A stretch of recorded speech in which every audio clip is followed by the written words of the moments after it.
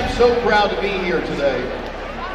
We believe in what you're doing and what we pledge to the community is that we are going to support science in our community.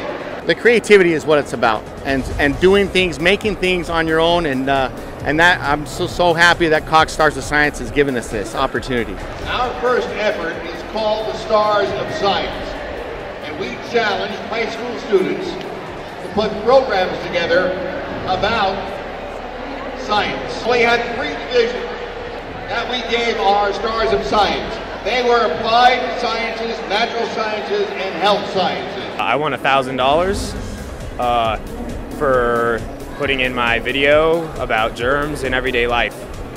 It was pretty awesome. Uh, my project was about the rocks of Nevada and stuff, and I tried to make it kind of funny, but I had the facts in it and stuff to keep people entertained. I think the company is doing a really good thing by sponsoring this, uh, especially as education takes front stage in like the, the national politics. And I would tell other students that they should definitely uh, enter the contest and that they should uh, participate in things like this because it's really important. I've already had a few students say, "Hey, can I do this next year?" and so forth. So it's gonna it's gonna be an over, overwhelming response next year. Science is around, and I think having this little fair is going to open it up to the rest of the community and start seeing science, and that's key.